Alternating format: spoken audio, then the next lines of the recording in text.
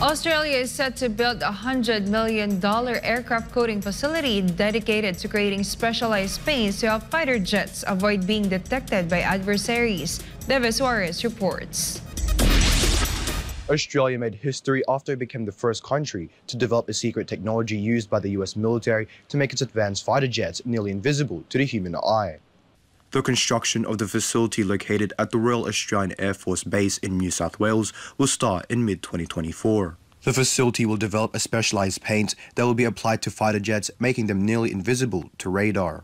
The initiative is critical for Australia's air combat capability as it will help maintain the stealth of the country's fleet of F-35A Lightning II aircraft. At this point, Australia plans to expand its fleet of F-35A aircraft from 63 to 72. BAE Systems Australia, the aerospace company responsible for the maintenance, repair, overhaul, and upgrade activities for Australia's fleet of F 35A aircraft, will run the facility.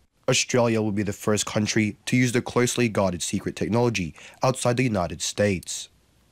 The latest development portrayed a deepening military partnership between Australia and the United States. The ambitious project also came at a time of easing trade tensions between Canberra and Beijing.